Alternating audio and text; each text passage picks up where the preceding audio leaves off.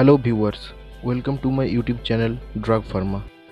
In this channel, I share the information about the different types of drugs like structure, synthesis, mechanism of action, uses and side effects. So, today's topic is ranitidine.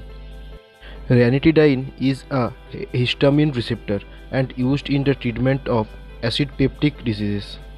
First characteristics it is a histamine H2 receptor antagonist with antacid activity. It is widely used for the treatment of acid peptic disease and heartburn. It is a off-white solid particles with bitter taste. It is freely soluble in water, sparingly soluble in ethanol and insoluble in chloroform. The molecular weight of ranitidine is 314.41 gram per mole. The melting point of ranitidine is 69 to 70 degree centigrade temperature. The next part is structure of ranitidine. The molecular formula of ranitidine is C13H22N4O3S. The structure and the IUPAC name is shown on the screen.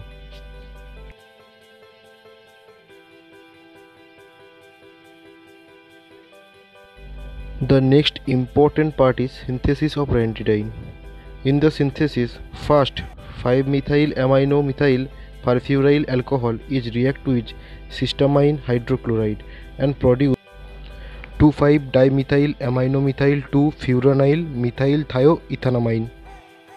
In the second step, this product is react with N-methyl 1-methyl thio 2-nitroethanamine and produced our major product ranitidine. Next is mechanism of action. Ranitidine completely block histamine receptor because of this blockage, histamine cannot act properly. The deactivation of histamine decreases the CAMP formation, which reduces the acid secretion and healing the ulceric cell. The second last part is uses of ranitidine. Ranitidine is used in the treatment of indigestion, acid reflux, stomach ulcer, and gastroesophageal reflux disease or heartburn. Last part is side effects of ranitidine. The overdose of ranitidine shows different types of side effects like nausea and vomiting, skin rash, constipation, diarrhea, dizziness, drowsiness, headache and stomach cramps. If these side effects are occur after taking ranitidine, please contact your physician or pharmacist.